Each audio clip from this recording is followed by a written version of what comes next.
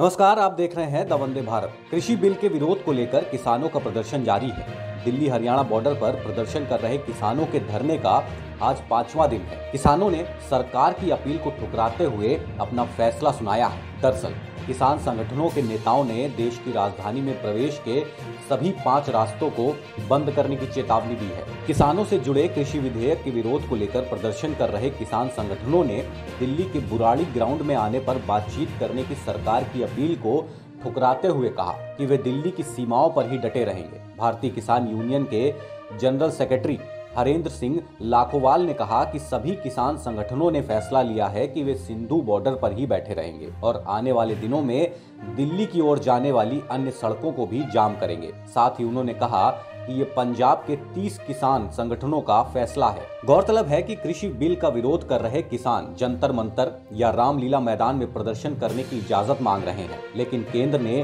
Corona guidelines का हवाला देते हुए उन्हें प्रदर्शन देने से इनकार कर दिया है। वहीं गृह मंत्री अमित शाह ने शनिवार को किसानों से दिल्ली के बुराड़ी ग्राउंड पर आकर प्रदर्शन करने की अपील करते हुए उन्हें आश्वासन दिया था कि बुराड़ी ग्राउंड शिफ्ट होने के बाद दूसरे दिन ही भारत सरकार उनके साथ चर्चा के लिए तैयार है। हालाँकि किसानों ने गृह मंत्री की पेशकश के बाद अपना फैसला सुनाया। किसान नेताओं ने कहा कि इस तरह शर्तों के आधार पर बात करने के लिए तैयार नहीं है। रविवार को किसान नेताओं ने कहा कि बुराड़ी ग्राउंड पर एक खुली जेल है और वो वहाँ नहीं जाएँगे। देश दुनिया की तमाम खबरों के लिए देखते रहिए द वंदे भारत।